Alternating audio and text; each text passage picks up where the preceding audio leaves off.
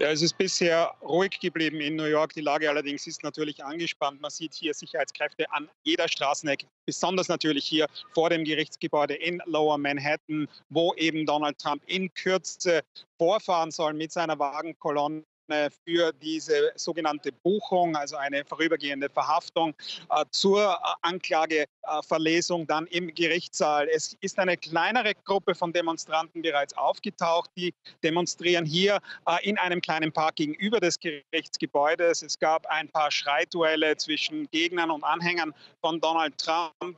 Vorher hat man gesehen, ein paar Polizisten die Straße runterlaufen. Also ganz kleinere äh, Auseinandersetzungen bisher, aber großteils ist die Lage ruhig geblieben. Das NYPD hat auch äh, verlautet, dass im Internet selbst jetzt keine derartigen bedrohlichen Gespräche wahrgenommen wurden, wie etwa in den Tagen vor dem 6. Jänner 2021, als Trump-Anhänger das Kapitol gestürmt haben. Also es wird hier nicht ein derartiges äh, Tohuwabohu erwartet. Aber natürlich, äh, die Polizei ist wachsam. Äh, wie, wie gesagt, alle Polizisten des NYPD sind im Einsatzzustand und äh, hinzu kommen viele Polizisten der Bundesbehörden. New York ist praktisch eine Festung und man hofft natürlich, die ganze Stadt hofft, dass dieser Tag gut vorübergehen wird. Mhm. Ah, wir haben gehört über unseren Partnersender CNN, dass äh, keine Kameras zugelassen sein werden während der Anklageverlesung. Ist das äh, normalerweise so üblich oder wird da eben heute auf äh, auch dringende Anwälte von Trump eine Ausnahme gemacht? Es ist bei diesen äh, Gerichten, die äh, eben zum Bundesstaat New York gehören, äh, teilweise üblich, dass äh, mit Genehmigung des Richters gefilmt werden darf, äh, meistens jedoch nicht. Äh, in diesem Fall ähnlich. Die, der Richter hat einen Antrag der Medienorganisationen abgelehnt, diese kurze Haftvorführung live übertragen zu können. es ist vereinbart worden, dass ungefähr fünf äh, Reporter drinnen sein dürfen, die fotografieren können. Es wird also Foto geben. Und natürlich vor dem Gerichtssaal gibt es einen Gang und auch hier soll die Presse zugelassen werden. Und es wird sogar auch spekuliert, ob Donald Trump möglicherweise sogar vor dem äh, Termin oder nach dem Termin sich ganz kurz an die Presse wenden könnte. Das ist allerdings Spekulation und wir sehen, was dann wirklich passiert. Mhm. Äh, denkst du, der Termin wird pünktlich starten? Normalerweise würde man das bei einem Gerichtstermin erwarten.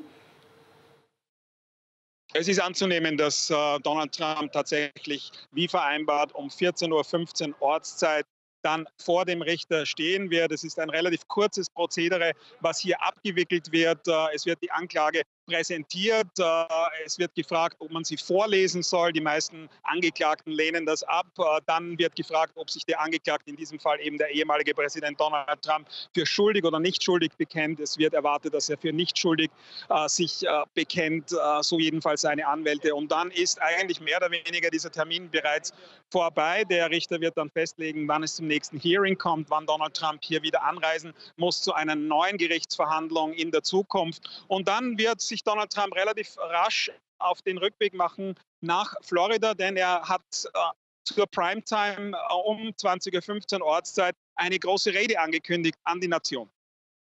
Letzte Frage, was schätzt du, was wird er in dieser Rede sagen?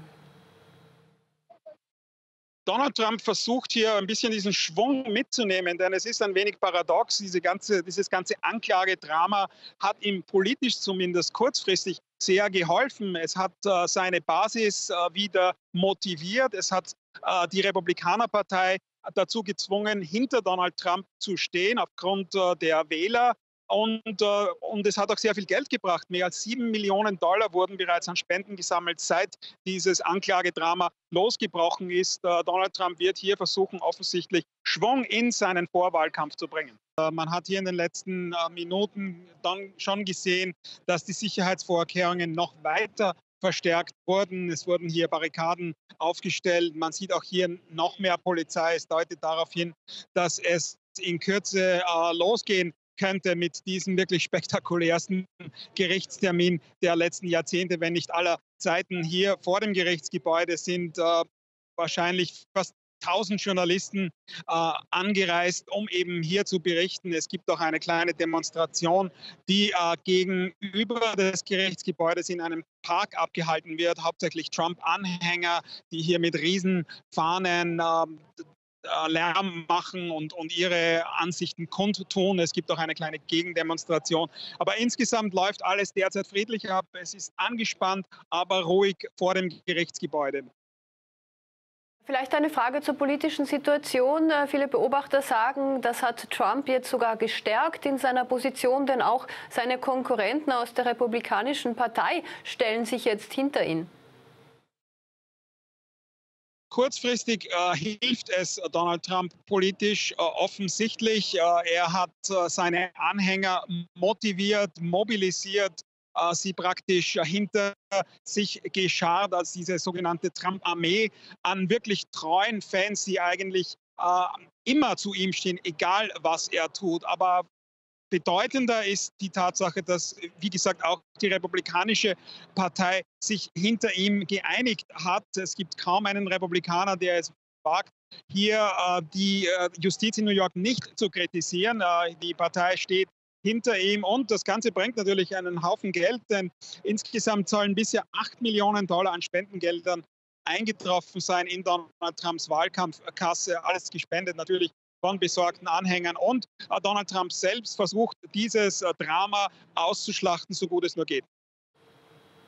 Mhm. Also vorübergehend. Äh, was natürlich interessant ist, was sind die anderen 34 Anklagepunkte? Glaubst du oder was hört man da in amerikanischen Medien? Könnten da tatsächlich irgendwelche Bomben sich drunter befinden, die ihn wirklich in Bedrängnis bringen könnten? Denn die Sache mit Stormy Daniels wird ja eher als Bagatelldelikt angesehen.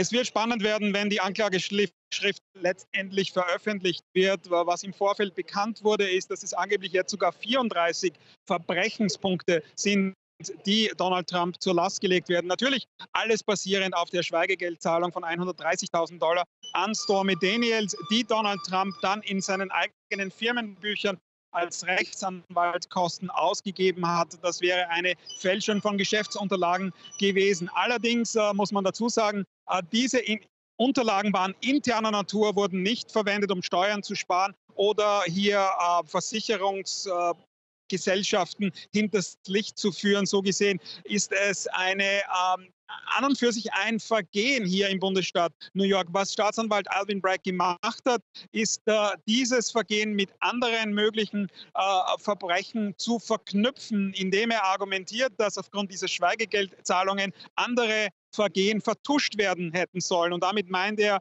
eine mögliche versteckte Spende für den Wahlkampf in der Höhe von 130.000 Dollar, äh, die eben die Grenze der Spenden übertroffen hätte. Das Ganze ist schon ein etwas juristischer Spagat, den New Yorks äh, Staatsanwalt Alvin Bragg hier hinlegt. Und dafür wird er auch kritisiert, besonders von Donald Trump und seinen Anhängern. Man darf also gespannt sein, was in dieser Anklageschrift drinnen steht. Äh, jetzt darf ja keine Presse das Ganze live mitverfolgen. Wann rechnest du dann mit einer Veröffentlichung der gesamten Anklageschrift, auch für die Medien? Das sollte in den nächsten Stunden passieren. Vorgesehen ist, dass zumindest, wenn Donald Trump dann vor dem äh, Untersuchungsrichter steht oder dem Richter steht, dass diese Anklageschrift öffentlich gemacht werden wird. Es ist auch eine Pressekonferenz von Alvin Bragg, dem Staatsanwalt, angesetzt für die Zeit nach diesem Hearing. Auch das wird natürlich spannend werden, denn Alvin Bragg wird hier äh, vor der Weltpresse genau erklären müssen, welche Vergehen und welche Verbrechen er dem ehemaligen Präsidenten zur Last legt. Wie wird das in den Medien in den USA gesehen? Oder gibt es da überhaupt unabhängige Medien, die unabhängig davon berichten? Wie schätzen die äh, diese Vergehen von Donald Trump äh, ein?